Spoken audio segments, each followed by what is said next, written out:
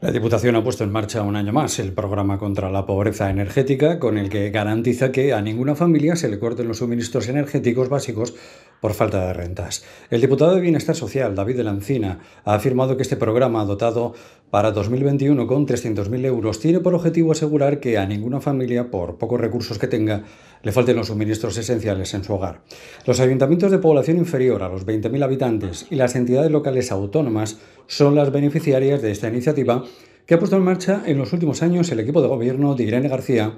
y que el diputado considera más necesario que nunca en momentos tan gélidos como los que se están viviendo. Ante las bajas temperaturas registradas en las últimas fechas y el consiguiente aumento de la demanda energética, el diputado ha recordado el procedimiento que han de seguir las personas que no tienen recursos para poder pagar las facturas con riesgo de sufrir un corte en suministros básicos.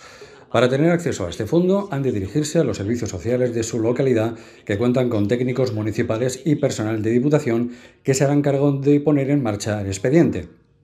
Este fondo de 300.000 euros se gestiona a través de la Delegación de Bienestar Social y cada ayuntamiento recibe una cantidad que oscila entre los 3.000 y los 15.000 euros según la población y en consecuencia el número de casos potenciales que podrían beneficiarse de estos recursos. David de ha destacado que con este programa se protege el derecho al acceso a un bien básico, como es el de la energía, y se asegura luz, agua y gas a las familias con menos recursos en un año especialmente complicado para muchas de ellas a causa de las circunstancias excepcionales ocasionadas por la crisis de la COVID-19.